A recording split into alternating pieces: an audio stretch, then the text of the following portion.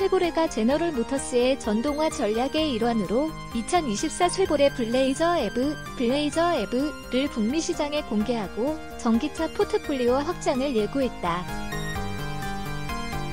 쉐보레는 블레이저 EV의 북미 시장 출시로 고객들의 전기차 접근성을 높이고 중형 전기 크로스오버 segment에서의 경쟁을 본격화한다는 방침이다.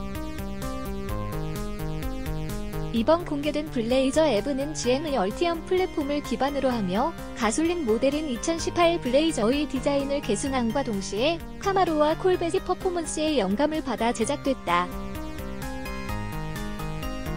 특히 블레이저 EV SS 모델은 쉐보레의 상징적인 SS, 슈퍼 스포츠, letter가 의미하는 것처럼 슈퍼 스포츠 퍼포먼스라는 쉐보레 heritage에 걸맞은 디자인과 성능으로 라인업 중 가장 강력한 성능을 선보일 예정이다.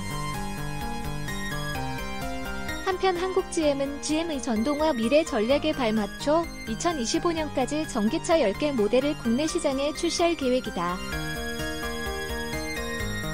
특히 다양한 가격과 목적에 맞는 전기차 포트폴리오 구축을 통해 고객들에게 전기차 선택의 폭을 넓히며 국내 수입 브랜드 중에서 메이저 플레이어가 될 것을 목표로 있다.